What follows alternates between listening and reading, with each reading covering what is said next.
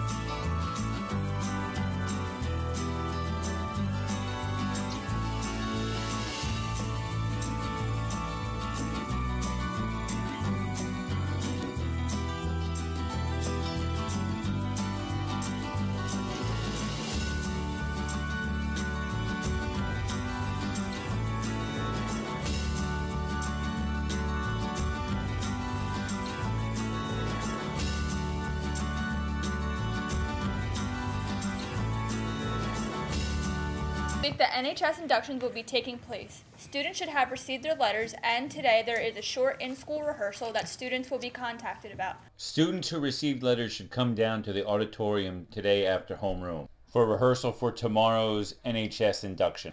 The inductions themselves will be held on March 27th, starting at 6:30. I'll throw off the schedule a bit. Spring break came earlier, however, the original break is now shortened somewhat after those days off last week. Instead of two three day weeks, we will have a four day week this week with school on Thursday, the 29th. The week will go today, D Day, and then ABC.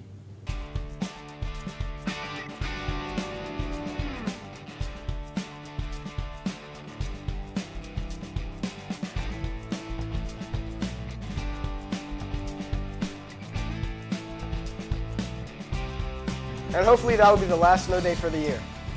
Well, that's all for today. So for myself and everyone here at Falcon TV News, have a wonderful day.